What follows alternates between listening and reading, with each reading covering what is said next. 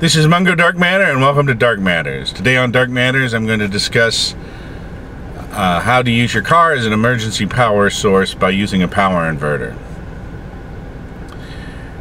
Now, the cigarette lighter of your car puts out 12 volts and a lot of devices either come with or you can optionally get a power adapter that you can plug into the cigarette lighter. Like for instance, most cell phones you can get a uh, car adapter so that you can charge the cell phone while you're driving around.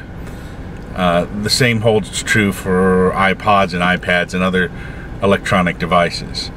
Now some of these devices may not have that accessory available and it can be pretty pricey. And for the price of a some car adapters and some power supplies, you can get what's called a power inverter. Uh, a power inverter converts the power from your cigarette lighter to make it like a standard socket in your house. And so then you can plug anything into it that has a standard uh, AC plug. Uh, the importance of this is if the power goes out, say for a few days, uh, during uh, a storm or something, you may be caught without power or a way to charge up your cell phone.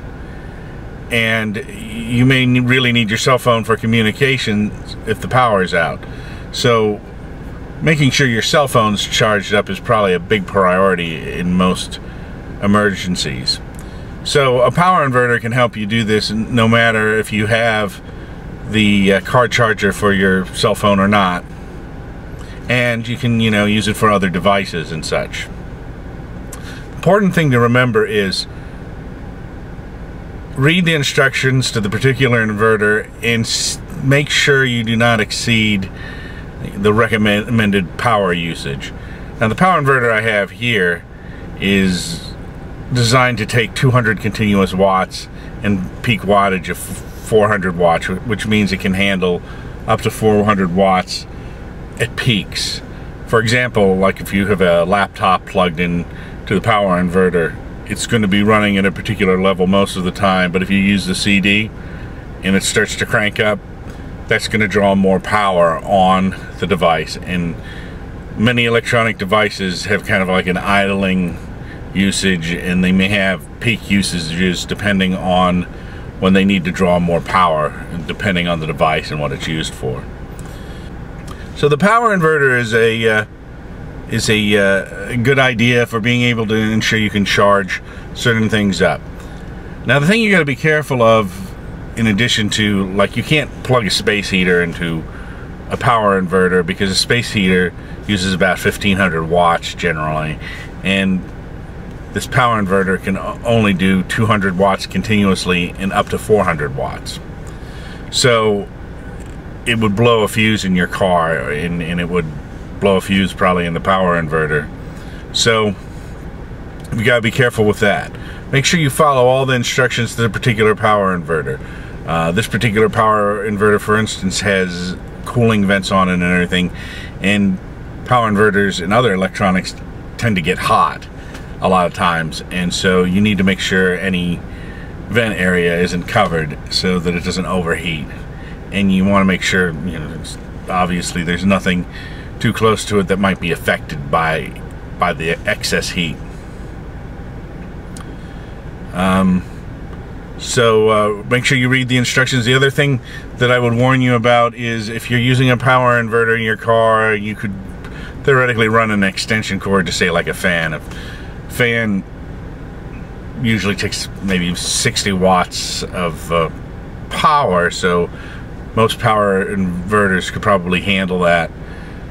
Uh, the, the problem is is you have to be careful when you're running your car because the exhaust gives off carbon monoxide and so you don't want to pull it up in your garage run an extension to the power inverter and run a fan like if it's hot and there's no electricity because the carbon monoxide in the garage can get into the house and even if you have your car parked in certain places near your house, there may be ways the carbon monoxide can get in.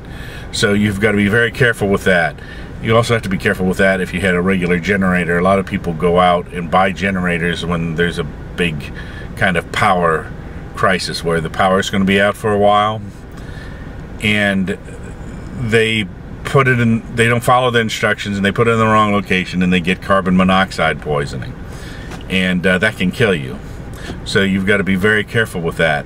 In fact I would probably recommend uh, getting a carbon monoxide alarm. You can get these little alarms that will detect carbon monoxide coming into your house not only from a generator or car but from any other source uh, because you cannot smell or detect with your senses carbon monoxide uh, and it will uh, rob your blood of oxygen basically and you'll pass out. And you can die from that.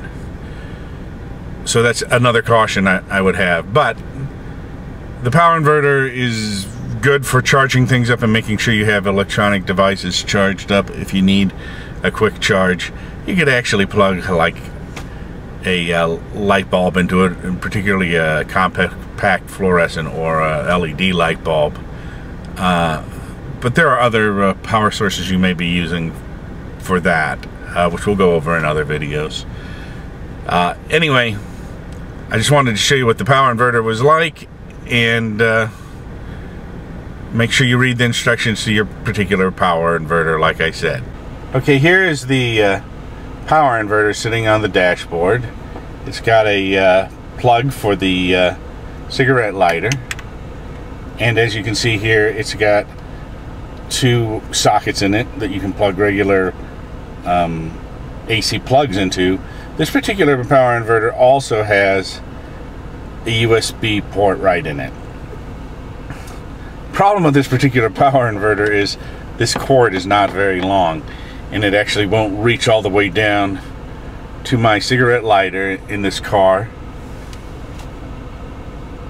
uh, from the dashboard, which is probably just as well because you probably don't want to sit it on the dashboard because the sun will heat it up more.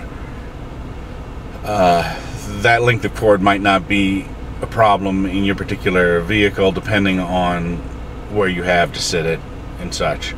But it's something to be aware of is the length of that cord and where you can set the inverter. So uh, that could be a problem for you, or it might not be. As I said, this particular power inverter will do up to 200 watts continuously with peaks of 400 watts. So you could run a TV set uh, or a computer or, or, charge pretty much anything with a power inverter like this. And uh, it's a good uh, piece of emergency equipment to have around. I'm Mungo Darkmatter, and this has been Dark Matters. And whatever you do, enjoy using technology.